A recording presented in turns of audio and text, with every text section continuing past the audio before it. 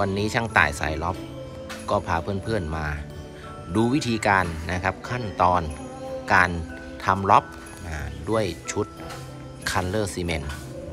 ขั้นตอนแรกเลยก็คือการฉาบสกิมโค้ดปรับความเรียบเนียนให้กับพื้นผิวนะครับลักษณะการฉาบก็คือใช้ปูนสกิมโค้ดนะที่มีขายอยู่ทั่วไปนะครับ มาฉาบปรับผิวอย่างในรูปภาพเนี่ยครับถ้าหลังจากที่เราฉาบเสร็จแล้วเนี่ยสภาพ พื้นผิวก็จะเปลี่ยนไปนะครับ จะเรียบเนียนมากขึ้นมากกว่าเดิมว่างั้นนะส่วนเราจะต้องฉาบกี่รอบนะครับ ก็ให้เพื่อนๆดูที่สภาพพื้นผิวเดิมแล้วกันครับว่าฉาบปูนไว้ได้ประมาณไหนนะเราจะต้องฉาบสกิมโค้ดรอบเดียว 2 รอบ 3 รอบอะก็ดูสภาพหน้างานจริงกันนะครับ อันนี้ก็คือทีมช่างเราก็ ไล่ฉาบ skim coat รอบบ้านเลยนะครับรอบบ้านเลย อันนี้ถ่ายจากหน้างานจริงนะครับ ถ่ายจากหน้างานจริงนะแล้วหลังจากที่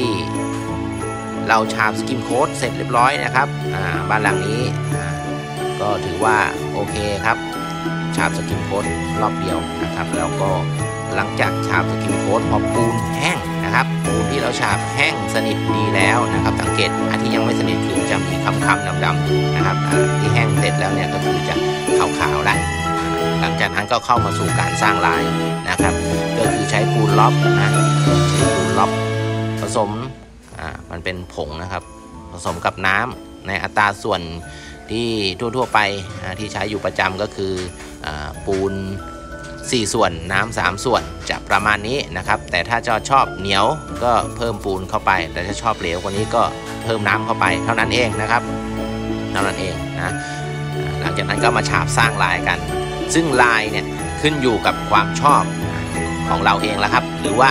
จินตนาการของเราเราอยากได้ลายประมาณไหนก็ฉาบ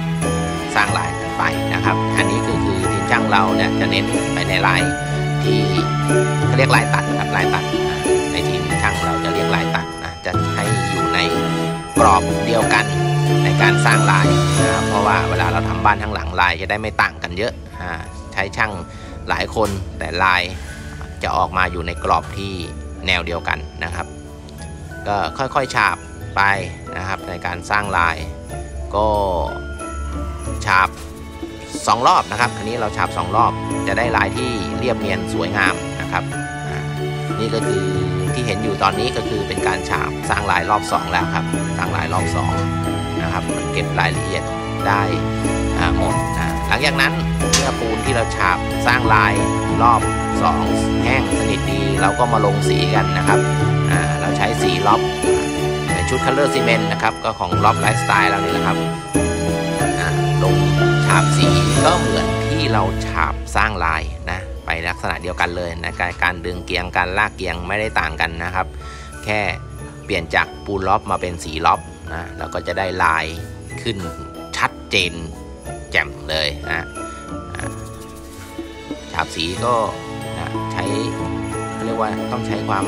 พยายามใจเย็นค่อยๆ ดึงเกียงค่อยๆ ลากเกียง แล้วก็เก็บรายละเอียดให้เขาเรียกว่าเก็บรายละเอียดให้จบนะเพราะว่าเราฉาบสีเนี่ยเราจะฉาบรอบเดียว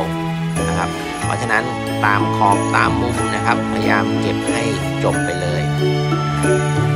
นะครับนี่ช่างก็จะใช้มือช่วยช่วยลูด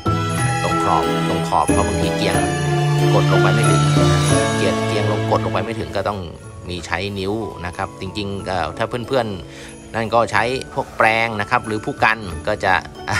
ไม่เลอะมือหรือว่า คือปลอดภัยมากกว่านะครับ แต่ว่าความเคยชินของช่างเรานะครับ ก็ไม่อยากลงจากที่สูงมาหาแปรงมาหาผู้กันแล้วก็ใช้นิ้วใช้นิ้วนะครับ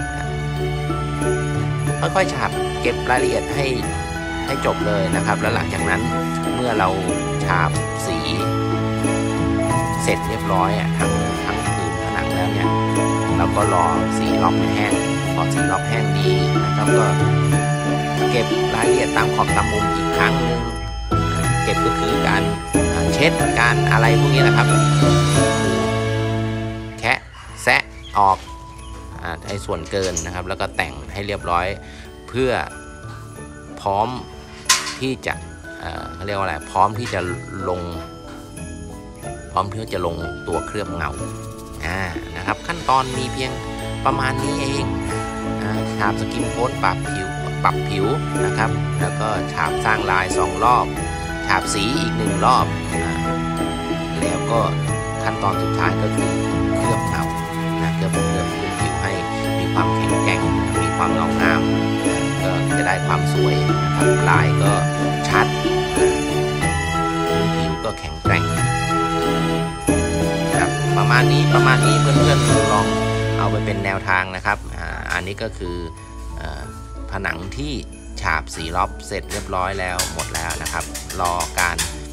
เก็บแต่งนะจะสังเกตเห็นว่าขอบเฟรมอลูมิเนียมก็ยังมีกระดาษกาวติดอยู่นะครับ เดี๋ยวเราจะต้องลอกออกนะครับ แล้วก็เก็บ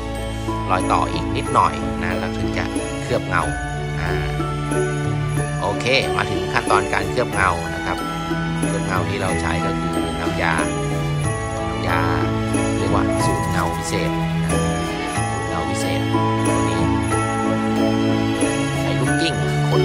นะครับใช้ลูกกิ้งขนสั้น อย่าใช้ลูกกิ้งขนยาวที่ทาสีแบบทั่วไปนะครับจะไม่ได้ความเรียบเนียนเงางาม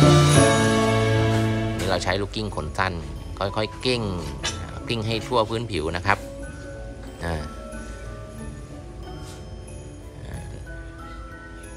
เราก็จะได้ความสวยงามจากการเคลือบผิวขึ้นมาอีก step หนึ่งนะครับ การเคลือบน้ำยานะครับก็ถ้าจะให้ละเอียดจริง ๆนะครับ ดูระหว่างเคลือบกับไม่เคลือบจะต่างกันนะครับ ถ้าจะให้ละเอียดจริง ๆ ควรจะเคลือบ 2 รอบนะครับ การลงน้ำยาเคลือบเนี่ยควรจะเคลือบ 2 รอบแผงนี้ก็ลงน้ำยาไปเกือบเต็มแผงแล้วนะครับ ช่างกำลังไล่ลงไล่เคลือบอยู่ตอนนี้